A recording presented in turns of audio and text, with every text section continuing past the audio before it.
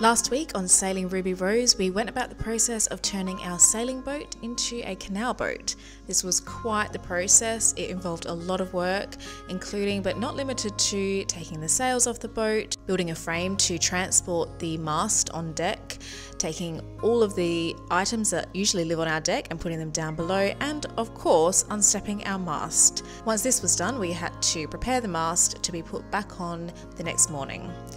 If this is of interest to you and you'd like to see the process in more detail, then please click on this link to watch that episode. Otherwise, let's get on with this week's episode.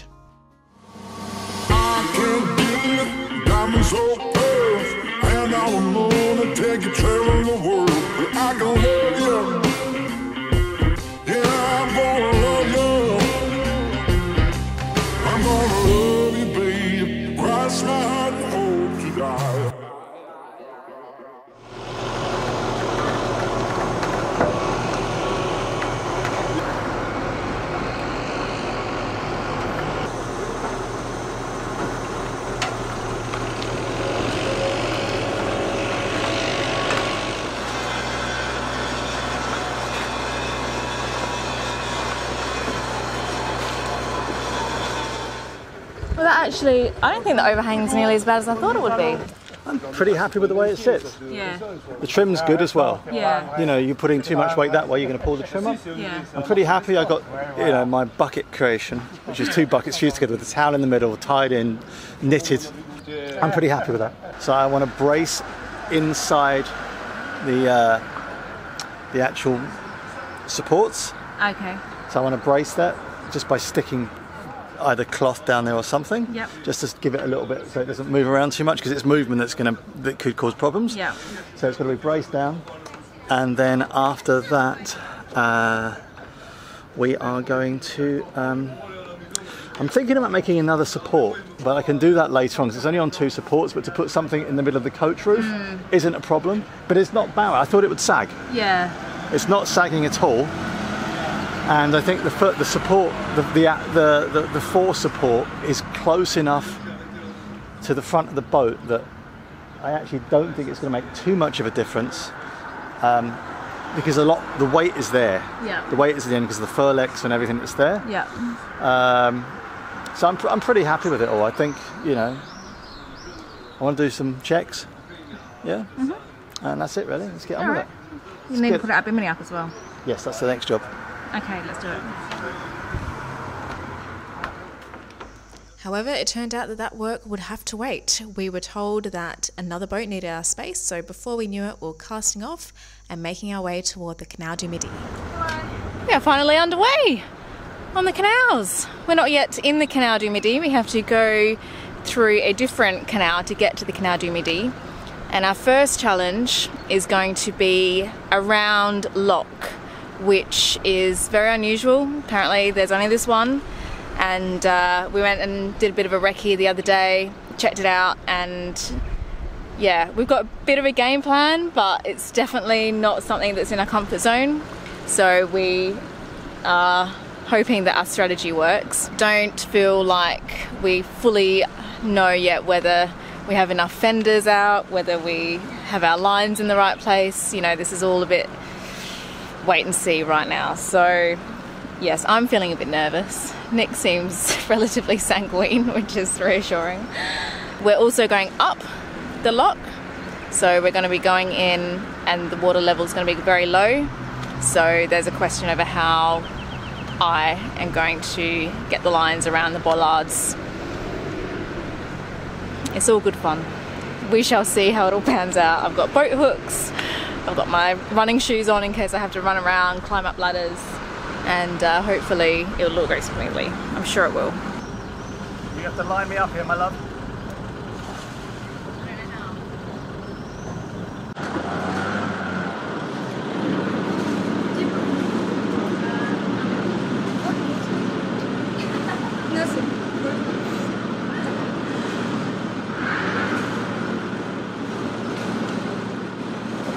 Is the lock open?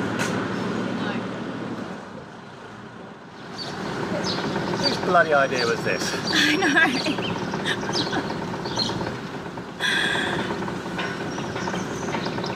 Look, we have a thousand fenders out.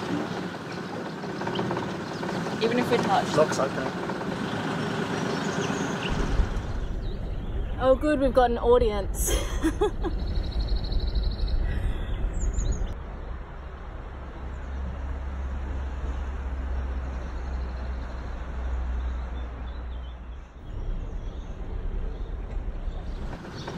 they, their fenders are very low, babe, and they're very high freeboarded, so. Not sure. Oui, j'ai téléphoné, oui. On va mettre là. De- derrière.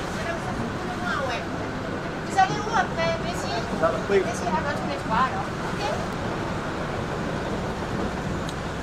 We're going behind this boat. Yeah, but I have no idea how to do it, my love. You just have to,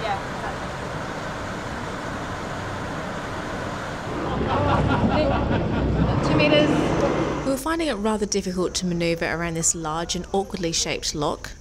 This wasn't helped by the fact that we, of course, had our mast overhang, so we weren't used to manoeuvring our boat with several metres of mast hanging off the bow and the stern, and unsurprisingly, we did end up just gently scraping against the lock sides a couple of times. However, no damage was done, I'm pleased to say. The buckets were a bit scuffed, but the mast itself was completely unscathed.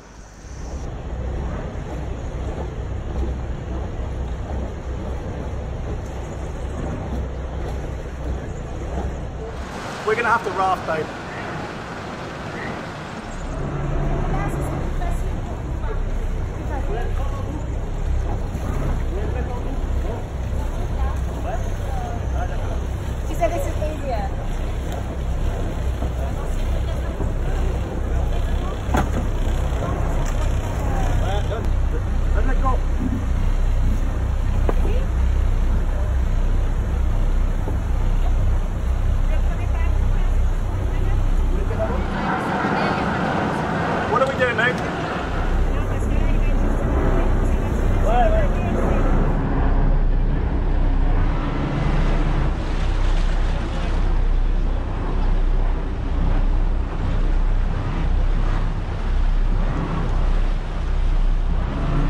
As I've already said, the round lock was thankfully unique along the Canal du Midi. This was the only lock like this that we would have to negotiate. Unfortunately, it just happened to be our first lock, and we still weren't sure what we were doing and how to maneuver our newly lengthened boat. However, the general principle still remains the same, whether we're talking about this round lock or the other more usual single locks that we would encounter further along the canal.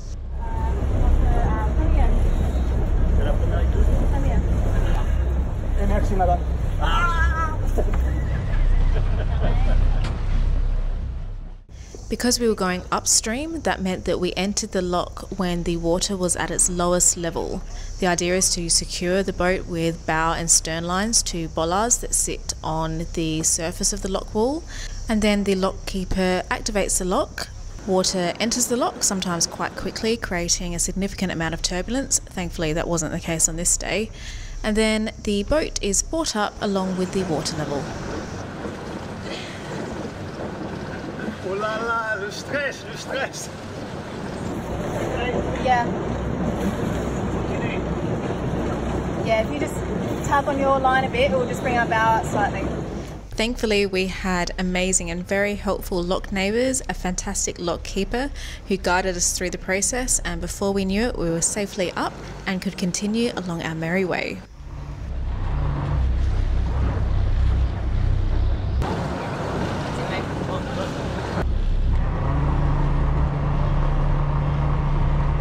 Count me in at the nose.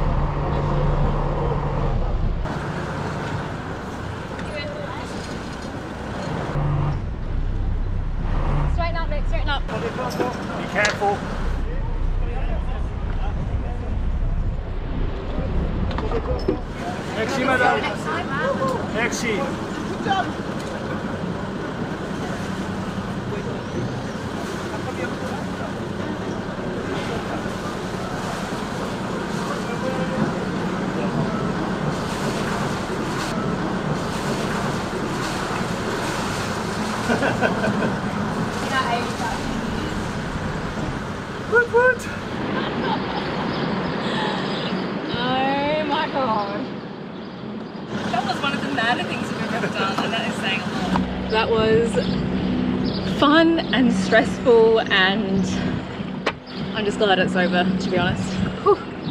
I need a cold drink and something to eat because I am like shaking from adrenaline.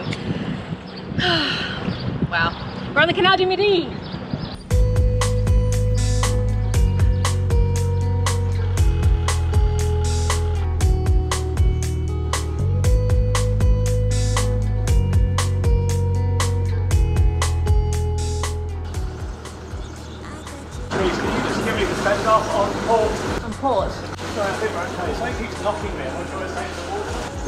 There's a ri- it's a river, babe. There's look, there's strong current coming through here. Are you having a nice time?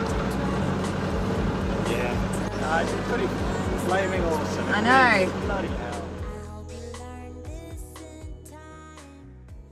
Next week on Sailing Ruby Rose, we start to get a handle on the lock situation, although just barely, and then we find ourselves in Beziers, which is a beautiful town with gorgeous views. Oh, and we happen to stumble across a beer and music festival.